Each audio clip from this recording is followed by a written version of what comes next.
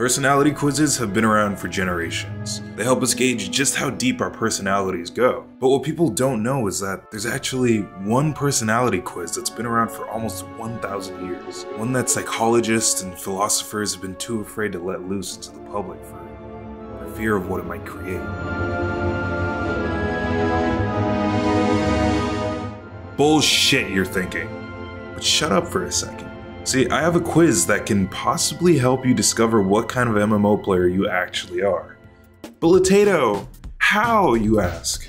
Again, shut up. Let me finish. Now, the very foundation of a person's preference for an MMO can be narrowed down to two things whether they like PvP or prefer story over PvP. So let's start there. Which do you prefer?